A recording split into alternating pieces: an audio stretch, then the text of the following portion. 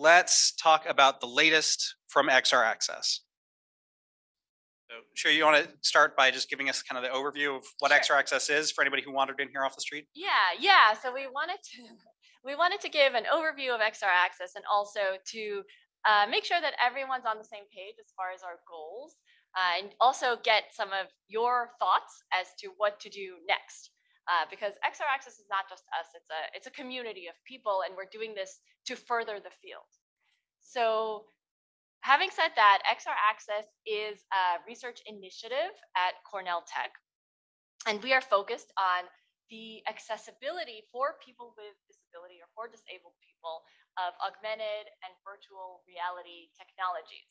And specifically, we're looking at how we can make the mainstream technologies accessible to everyone.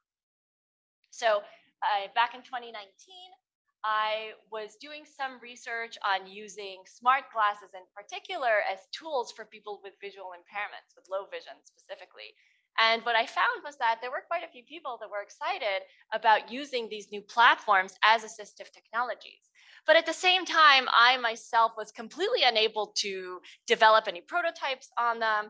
I wasn't able to even launch the applications that we were developing to try them out. I really needed to have sighted students with me to do the work, uh, get the headsets ready, and then hand them to me with an accessible prototype so that I could try it out and give them feedback. Um, no one was really working on the problem of making the platforms themselves, the existing applications, accessible to people with disabilities. So that's when we decided to launch XR Access and to try and push forward this idea of this question of how can we make XR an emerging set of technologies accessible to people with disabilities. There are lots of open questions here, really fascinating questions about how you can do this. A lot of what we know about making technologies accessible on mobile devices, on desktop and laptop computers that are very screen based, a lot of what we know about those technologies and accessibility and in those contexts is not readily applicable to interactions in 3D with augmented and virtual reality technologies. So this is a very exciting space, lots of interesting research problems, and also lots of questions about how to take that emerging research, research and really push it into practice we want to make sure that we are thinking about accessibility from the ground up before augmented and virtual reality technologies are completely mainstreamed in our culture.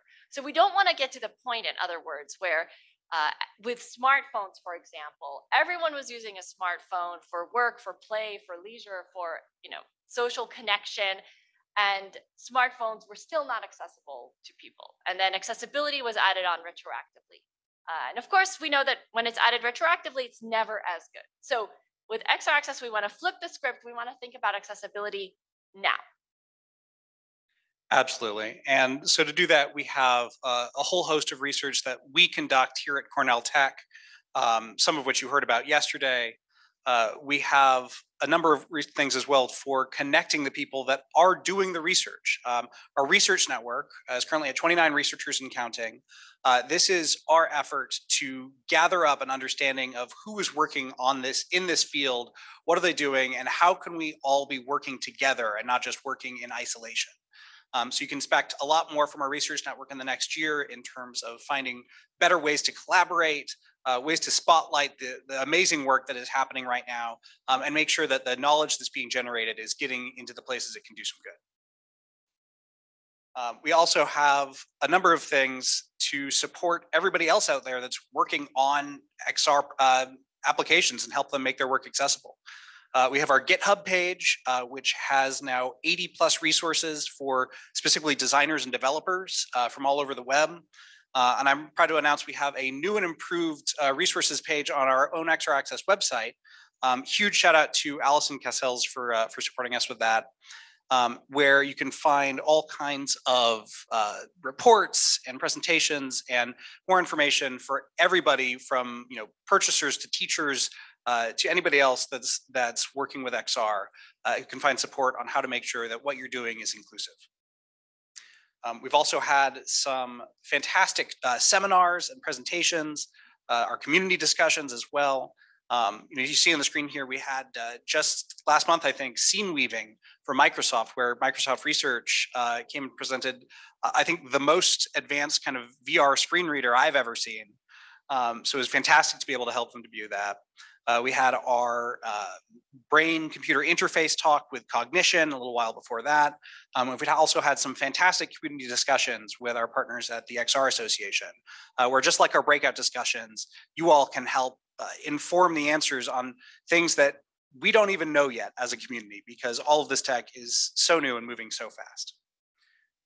Uh, we've also had some great work collaborating with standards organizations.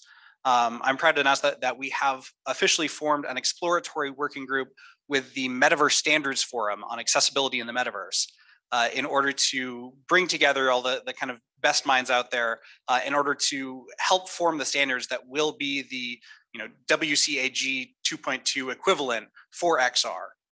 Uh, we also advise on the FCC uh, Blind Gaming Advisory Committee. Um, we support the W3C uh, Immersive Captions Group and WebXR Group, uh, and the IEEE Global Initiative on Ethics of Extended Reality. Um, finally, we have uh, done a number of things, other things in terms of advocacy to, to try to make sure that the message of accessibility and the importance of accessibility isn't lost in all of the other, you know, excitement and hype about XR technology. Um, earlier this year in March, uh, we were at IEEE VR. Um, shout out to, to Greg here in the audience, who's a, a major part of that as well as general chair. Um, we helped co-sponsor a workshop on diversity, equity, accessibility, transparency, and ethics in XR. Um, we also, I was fortunate enough to serve as the uh, DEIA chair on that, uh, and Shiri gave a, a, wonderful keynote on the importance of XR accessibility. Uh, additionally, in uh, April, we were uh, amazed to have the opportunity to work with Meta on a co-design session that you'll hear more about soon. Um, and later on uh, this month, about two weeks from now, after I go home and sleep for a week, uh, we're going to be uh, speaking at AWE. We have a panel on general how generative AI can make XR creation more accessible. Um, and then in August, I'll be at DEF CON to talk about XR for all, accessibility and privacy for disabled users. Um, but as Shiri was saying, XR isn't just us here on the stage, it's all of us. And this is where I remember to do these slides, not just my slides. um, we really want to hear from you uh, about, you know, what possibilities excite you this year. Uh, what do you want a need in order to succeed in making your own, uh, furthering your research or making your applications accessible? Um, what, how can, how can XR Access support you in those efforts? Uh, and what does your dream future for XR look like? Um, so yeah, I think we want to hear from you and hear from you right now. We have uh, Mike. We should have microphone, some uh, volunteers on microphone duty. I hope. Um, and um, yeah, help, help, Let's let's talk. We have a, a, few minutes now because I think we're we've got um, Justin coming on momentarily, uh, but we want to hear from you. Um, anybody want to shout out just what? I mean, even what brought you here today? What's what's exciting for you? What are you What are you hoping to see over the next year when it comes to the the future of XR? And we'll take uh, questions on Zoom as well or comments.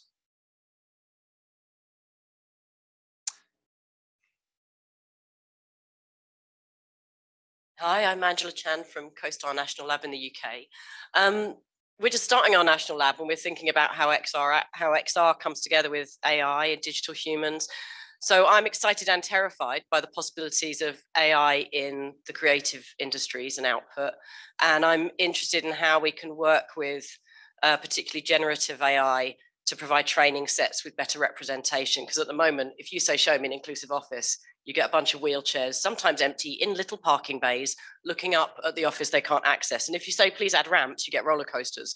So I think how we start to work with that as you know expert consumers is really exciting uh, but we need to lean in and put pressure absolutely and i, I think um, gathering better data you know you've heard the phrase garbage in garbage out right i think being able to get get um, better data that isn't just the the you know wheelchair stock photos um, to fuel that, to fuel things like, you know, yesterday with sign language, we're talking about the need for, for a lot more data in sign language to train those models. Um, I think all of that is definitely really vital. Yeah, so some, so for example, just to tie this back into what we're doing at XR Access, a topic like that could potentially be uh, one of our seminars, one of our community discussions that we hold every few months over Zoom. Uh, so if anybody else is interested in that topic, let us know, either now or via one of our other communication channels, email, Slack. Yeah, because we, we don't have all the answers, right? We are here to find you who have the answers and shine a spotlight on you and really take the, the incredible research that you all have done um, and get it where it needs to go. I think we had a question in the front. Sure. Uh, as somebody who's blind, um, I'm looking forward to the, I guess, evolution of this all. I mean, even just here this morning, I got dropped off. I said, Hey Siri, get me walking directions to the Verizon building. And I got, here's some search results from the web, not very useful. So uh, looking forward to the next step as I've been following uh, AI and XR as things become more advanced and things start occurring in real time, it's uh, for somebody who is blind uh, and part of the tech community, it's uh, unbelievably extremely exciting time. Absolutely. Things are, I think, moving faster than they have been in, in a while, and that's saying something. Um, I think we maybe have time for one more question or comment before we uh, give Justin some time here. In the back. Yeah, I think one of the um, uh, use cases that I'm really interested to see evolve is uh, again the the confluence of of Gen AI and XR, and in particular, um, you know, some of our clients are in um, lower connectivity situations, um, and there's so much. Um, there's a lot of potential in on-device uh, Gen AI models that can do some of the real-time processing that doesn't require cloud connection and can you know fall back or phone home when it when it exceeds its capacity for on device um, and I, I think seeing the use cases that evolve out of the you know next year or so of silicon that's uh, able to be incorporated into the the headsets and how those gen ai use cases can really unlock some um, uh, some new things that uh, that solve problems uh, in low connectivity situations. Absolutely. And in terms of privacy, uh, the more stuff we can keep on device, um, the more we can be certain that uh, we're not being listened in on and whatnot. Yes, that's a very good. And I think privacy is a theme that we've heard come up yesterday. Yeah. Yeah. So definitely one we'll be exploring in the coming year. Uh, Let's keep the conversation going. So feel free to let us know. What are you excited about? What are you interested in seeing both personally in your own work? And also in general ideas for the community. How can we bring this field forward? How can we push the research forward and bring it into practice while connecting with advocates and the people, the disabled people themselves? Um, so let us know. What are, should we remind people of our? Uh, Yeah, yeah, absolutely. You can always reach out to us on Slack, uh, xraccess.org slash Slack. Um, you can email us info at xraccess.org. Um, and we're on uh, Twitter and LinkedIn. So feel free to reach out. Um, if you know of somebody that's doing great research in this area that, that we should be sharing, uh, send them our way because we'll be happy to connect to, to anyone and everyone that's working on XR accessibility.